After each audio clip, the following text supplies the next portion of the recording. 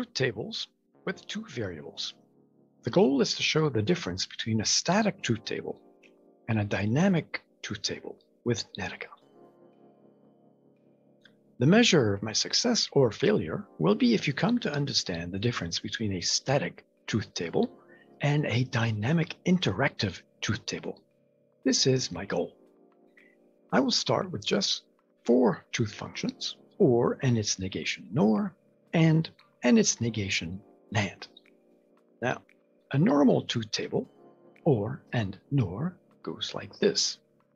The logical disjunction, P or Q, is true everywhere except on the last line, where if P is false and Q is false, well then P or Q is false. And the negation is the reverse. It's false everywhere except on the last line where it's true. The down arrow, by the way, is sometimes called Peirce's arrow, Peirce being a 19th century mathematician and logician. So here's the static truth table for AND and NAND. So the logical conjunction, P and Q, it's true on the first line and false otherwise. The negation, NAND, uses the Sheffer stroke, P up arrow Q, is false on the first line and true otherwise. It's the opposite of the logical conjunction. Now, by static, I mean the parts don't move. It's like having toy soldiers, but none of the parts move. Like these guys, they just sit there and don't do anything. On the other hand, we have this guy. Ah, there we go. Up and down, up and down. And that's what my truth table is going to do. It's going to have a little bit of dynamic energy to it. It's going to go up and down. Okay. And we are going to go onward to Netica.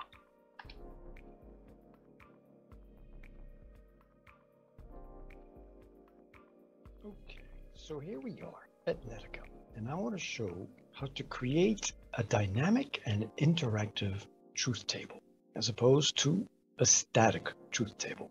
This will be a truth table, so it will not be a full truth table. We'll get to that. Right now, I'm concerned to show just two variables, P and Q, and the truth table for P or Q, or NOR, P or Q, or I guess a P nor Q, which is just the negation of OR, and then P and Q, and the negation of AND, which is P NAND Q.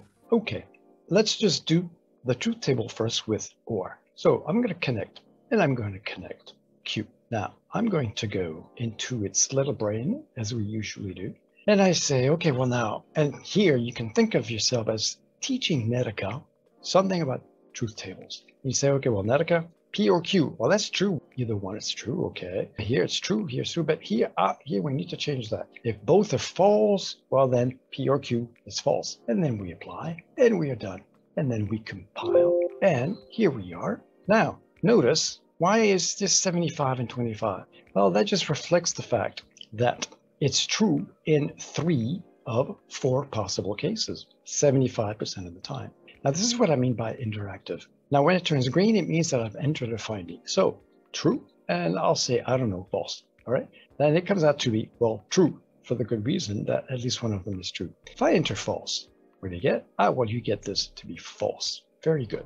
Okay. If I came over here and I said, well, I know that P or Q is true, then I'll enter a finding and it turns green. Notice that Netica says, well, and P and Q could be true or false, right? It's not clear which one it would be because there's three possible ways of making P or Q true. If I were to say, well, as it turns out, known to be false, ah, it concludes that Q must be true very well. Okay, now what I want to do then is I'm going to connect everything else. So let's do this. We'll go here and here and here. And also we need to have Q connected here and here and here. Now, that gets to be, that's a pretty little pattern, but all these wires, well, that gets to be a little messy. If we were to do this all of the truth function, we would get 16, and that would start to get, well, it just would look like a whole lot of spaghetti, and it would be kind of a mess. So we're going to do something else, and we're going to put a little intermediate variable in between to clean things up. So the first thing I'm going to do, I'm just going to, I'm going to undo this. Okay, I'm going to do this. I'm going to take away that, take away that, and that, and that, and that.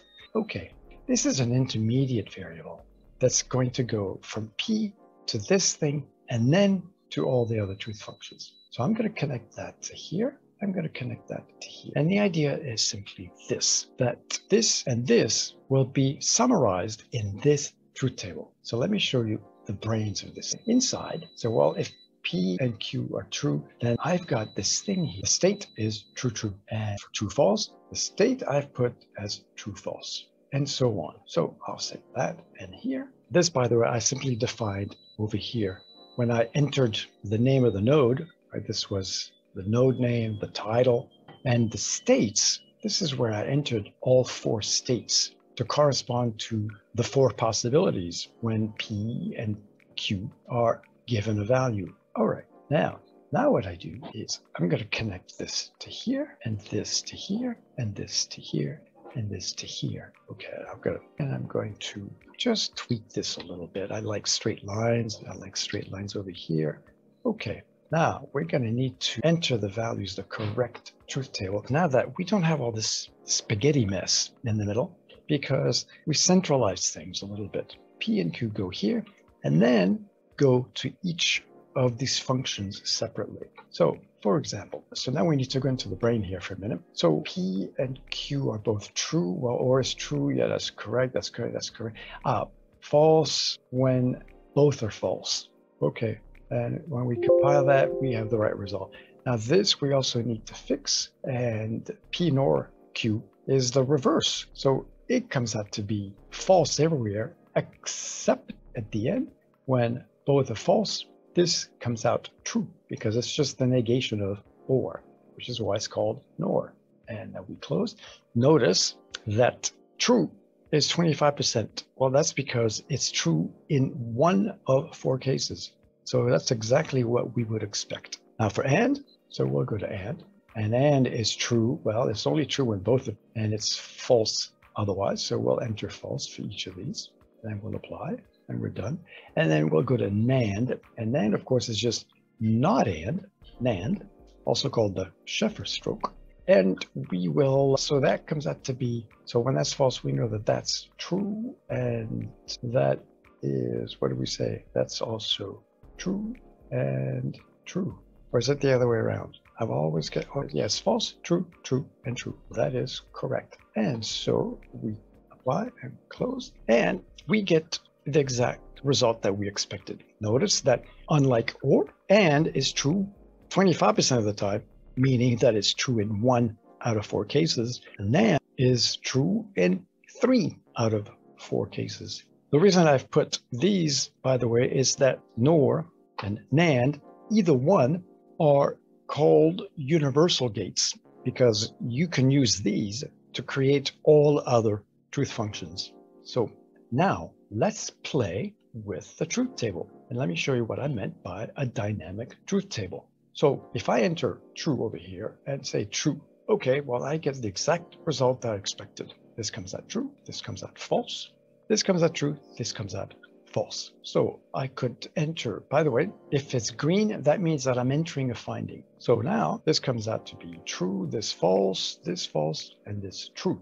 What I could do also is I could go I could go here. I could go in the middle, right? So because it's green means that I've entered a finding. So notice now that as I go down each line here and here and here, notice that all of these other ones change, right? That's what I mean by dynamic, that each of the truth functions come out and reflect their own internal truth table. So let me retract all the findings.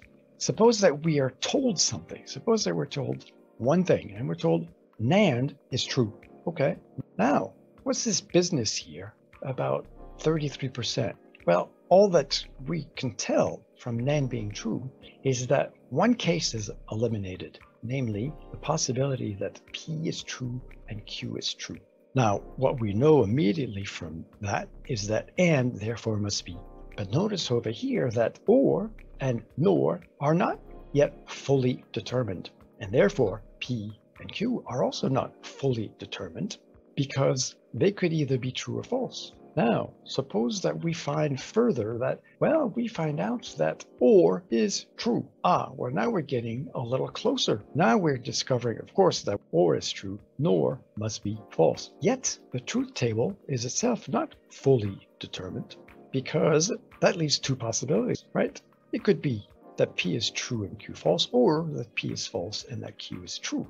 So notice that all the truth functions are now fully determined they all sit at 100%, but P and Q are still actually not fully determined. Either one could be true or false.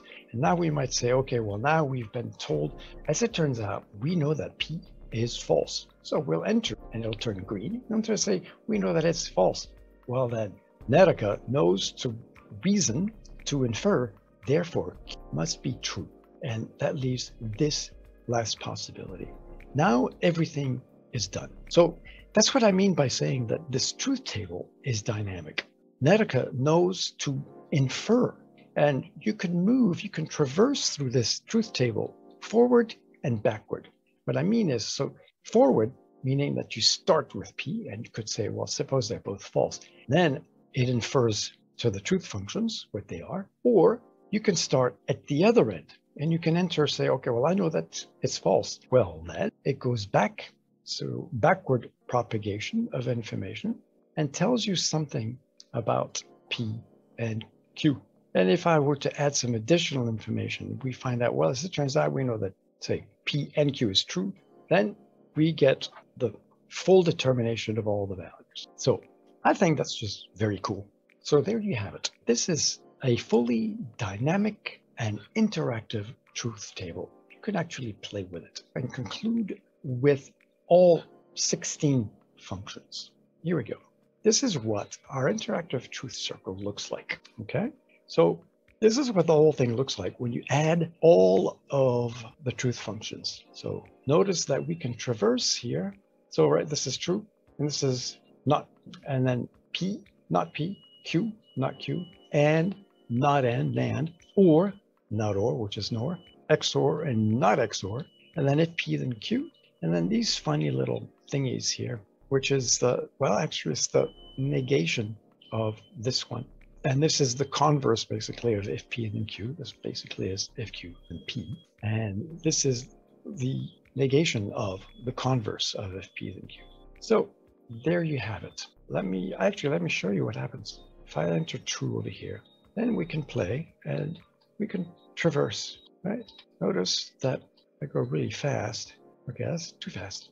But we have now what I call an interactive and animated truth table. So that concludes my presentation for our interactive dynamic truth table. I'm going to, the last three minutes, I think, is going to be the truth table set to a little bit of music, right? So not only is this a dynamic table and interactive, there's even a, well, there's like an audio component. Something I would love to be able to do, and someone maybe can tell me how to do this, is to connect the output of each of these truth functions to sound somehow. So that's a project for another time. Okay, we are done.